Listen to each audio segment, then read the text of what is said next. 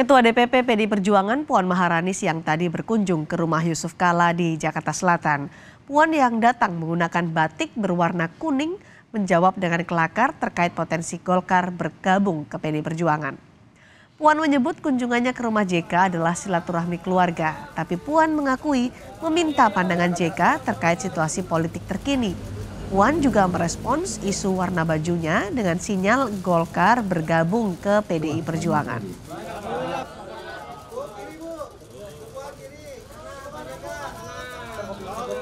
itu tanda-tanda mungkin ya. itu tanyanya ke Mas Erlangga, ketua umumnya, bukan saya yang harus menjawab. Itu.